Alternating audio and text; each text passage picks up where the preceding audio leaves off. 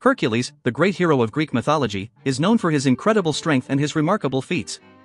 But not many people are aware of his family life and the children he had.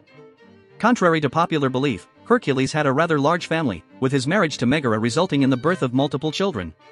The exact number of children Hercules and Megara had is a topic of debate among scholars and mythologists, with some sources claiming they had three children, while others suggest they had as many as eight. The most well-known account of Hercules' marriage to Megara can be found in Euripides' play, Heracles. In this tragic play, Hercules returns home to his wife and children after completing his famous 12 labors. However, due to the goddess Hera's jealousy and hatred towards Hercules, she causes him to go mad and commit a terrible crime, resulting in the deaths of his wife and children. This account of Hercules' marriage to Megara is the most popular and widely accepted, but the number of children they had varies in different versions of the myth. Some versions of the myth claim that Hercules and Megara had three children together.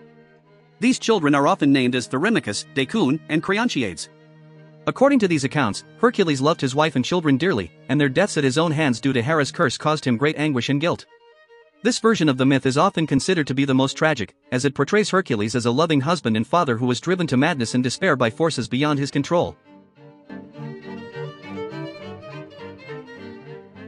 On the other hand, there are sources that suggest Hercules and Megara had a larger family, with as many as eight children.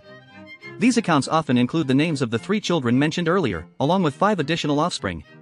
These additional children are often listed as Agelos, Macaria, Polites, Phaeax, and Thessalus. According to these versions of the myth, Hercules and Megara led a happy and prosperous life together, raising their eight children with love and care until Hera's curse drove Hercules to commit the unspeakable act that led to their tragic demise. The discrepancy in the number of children Hercules and Megara had can be attributed to the varying accounts and interpretations of Greek mythology. Different poets, playwrights, and historians have offered their own versions of Hercules' life and adventures, leading to a multitude of conflicting stories and details. As a result, it is difficult to determine the exact number of children Hercules and Megara had, and the truth may never be known for certain.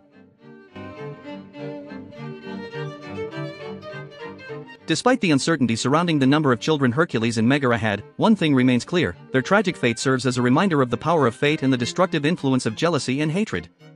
The story of Hercules and his family is a timeless tale of love, loss, and the struggle against the forces of fate and destiny.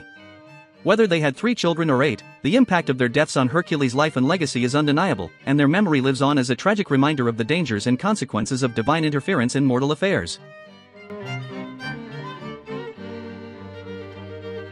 In conclusion, the exact number of children Hercules and Megara had is a topic of debate and uncertainty in Greek mythology. Some sources claim they had three children, while others suggest they had as many as eight. The tragic fate of Hercules' family serves as a timeless tale of love, loss, and the struggle against the forces of fate and destiny, regardless of the number of children they had.